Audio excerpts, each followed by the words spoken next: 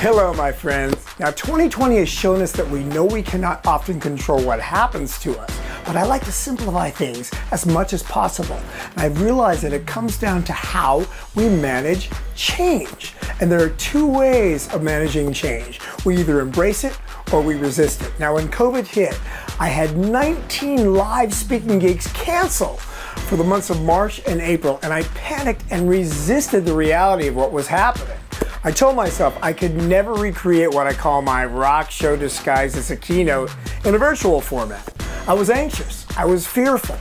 I woke up a few days later and I realized that I was telling myself a story of resistance.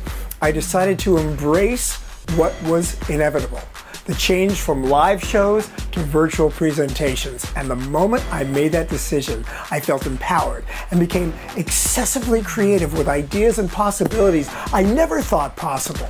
I learned more than I thought I ever would and created a state-of-the-art virtual presentation complete with audience interaction, drumming performances, and the high energy that I built my reputation on. And you have more creativity and profound solutions than you ever imagined possible. So go ahead, be willing to move outside of your comfort zone and embrace that change. Change the world.